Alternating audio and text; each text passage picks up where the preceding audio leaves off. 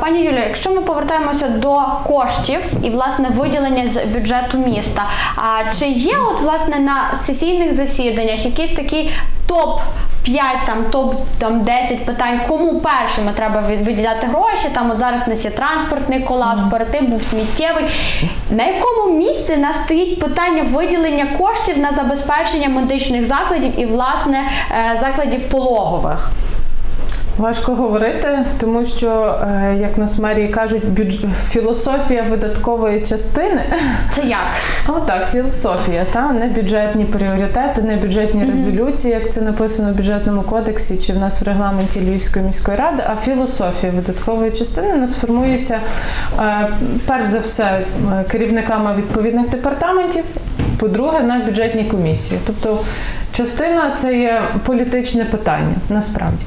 Але тут також треба мати на увазі, що Львів старе місто, яке хоче бути на топі інновацій. Для мене воно десь отак е, звучить наш бюджет, так коли ми розуміємо, що в нас дуже велика частина мереж, каналізації і так далі зношених. У нас далі смердить на знесінні, там де пластова вулиця. Так, коли нам треба вирішувати сміттєве питання, на яке ми платимо області кілька сотень мільйонів гривень. Так? Ну а Коли- перед тим самовільно Так. ми викидали Бог знати куди кошти. Ну, власне, ми зараз теж по суті сплачуємо лише за вивіз кудись сміття, так?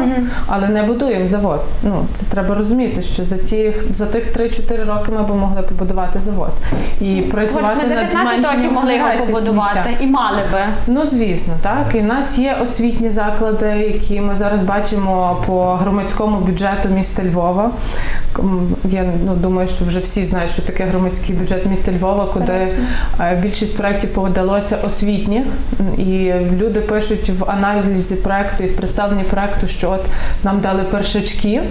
А ми не маємо їх за що посадити за парти. І вони подаються на конкурс проєктів і просять львів'ян проголосувати і підтримати саме їхній проєкт. Ну для мене це взагалі дивно, тому що це би мало бути забезпечено автоматично силами міста. І точно не у вересні, а ще мінімум рік тому або півроку тому. Тобто, у нас насправді ситуація зараз по багатьох закладах є критичною. Виділити там місце охороні здоров'я е, важко, але я знаю, що фінансування покращується. Зараз важко говорити, що буде на наступний рік, тому що депутати отримали суху таку цифру охорона здоров'я. Яка Скільки це? Ну, я не можу зараз точно сказати, не пригадую, але ну 16 листопада запрошую всіх дивитися сесії, бо будуть приймати бюджет. Ну, власне, будемо як і як завжди традиційно будемо її Так. транслювати. Я думаю, що ми почуємо ці цифри.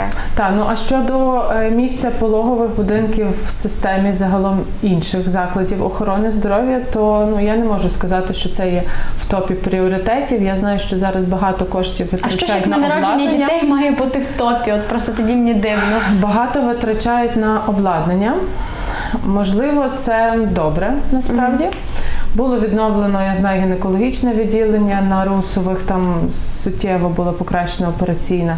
Я знаю, що Володимир Іванович е, мріє про те, аби в нас була станція, ем, я не знаю, як сказати, прийому невідкладних е, випадків при е, лікарні на Орлика. Тобто, коли е, швидко батьки звертаються, коли щось сталося з їхніми дітьми. Е, Та, ну, тобто в нього постійно звучать такі пріоритети. Пологові будинки фінансуються ну, таким частковим принципом. Я За залишковим принципом, я так розумію. Ну, я можу сказати, що так.